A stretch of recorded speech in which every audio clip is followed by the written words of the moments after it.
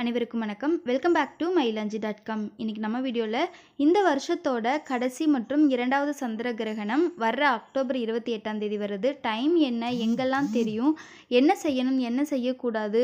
சந்திர கிரகணம் அப்படின்னா என்ன அப்படிங்கிறத பற்றி தான் பார்க்க போகிறோம் சந்திர கிரகணம் அப்படின்னா இப்போ சூரியனை வந்து பூமி சுற்றி வருது பூமியை சந்திரன் சுற்றி வருது. இந்த ப்ராசஸ் நடக்கும் பொழுது சூரியனுக்கும் சந்திரனுக்கும் இடையில் பூமி வரும். அப்போ சூரியனோட வெளிச்சம் வந்து சந்திரன் மீது படாதவாறு பூமி வந்து மறைச்சிக்கும். இந்த மாதிரியான ப்ராசஸ்க்கு தான் வந்து சந்திர கிரகணம் அப்படின்னு சொல்லி சொல்கிறாங்க இந்த வருஷம் சந்திர கிரகணம் அக்டோபர் இருபத்தி எட்டாம் தேதி வருது. எந்த டைமில் தெரியும் எங்கெல்லாம் தெரியும் அப்படிங்கிறத பற்றி பார்க்கலாம்.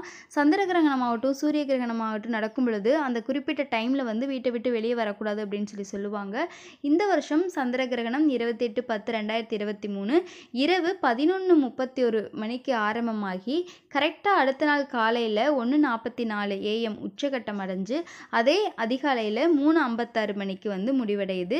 இந்த டைமில் நம்ம வீட்டை விட்டு வெளியில் வராமல் இருக்கணும் அப்படின்னு சொல்லி சொல்லுவாங்க. குறிப்பாக கர்ப்பிணி பெண்கள் நிறைய விஷயத்தை வந்து செய்யக்கூடாது அப்படிங்கிற மாதிரி பழங்காலந்தொட்டே வந்து முன்னோர்கள் சொல்லிகிட்டே வராங்க. நம்மளால் முடிஞ்சதை வந்து நம்ம ஃபாலோ பண்ணிக்கலாம்.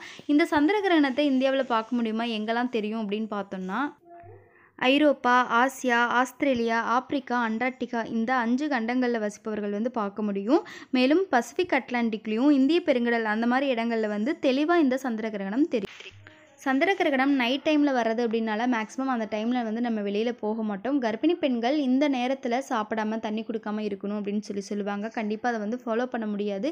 இருந்தாலும் ஈஸியாக டைஜஸ்ட் ஆகக்கூடிய உணவுப் பொருள்களை வந்து எட்டு மணிக்கு முன்னாடியே சாப்பிட்டுக்கிறது பெட்டராக இருக்கும். முடிஞ்ச சில விஷயங்களை ஃபாலோ பண்ணிக்கலாம். வீட்டை விட்டு நம்ம எப்படியும் வெளியே வரப்போகிறது கிடையாது. ஸோ அதை பற்றி பிரச்சனை கிடையாது.